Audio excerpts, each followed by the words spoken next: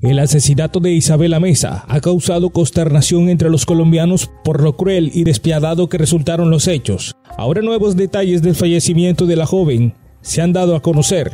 Uno de ellos es que Isabela murió luego de recibir 24 puñaladas al parecer por parte de Sebastián Villegas, principal sospechoso y quien era su pareja sentimental. Villegas ya fue capturado e imputado con el delito de feminicidio agravado, cargo que no aceptó. Recordemos que a la joven Isabela la encontraron sin vida dentro de una maleta, por lo que de inmediato este suceso se convirtió en un crimen reprochable que está resonando en todo el país.